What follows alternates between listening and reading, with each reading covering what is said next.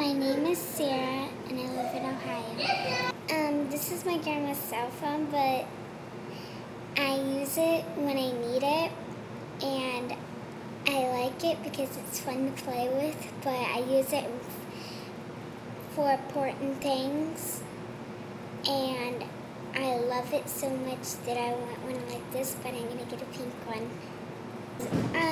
When I want to take pictures because I like taking pictures so I can give it to people that haven't uh, seen other people and they don't haven't learned about people.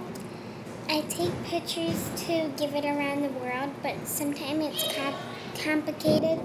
I think it's good to help the people around here to learn about our place and learn about their place. And I want to be an artist and someday I want to be a teacher. You and me together.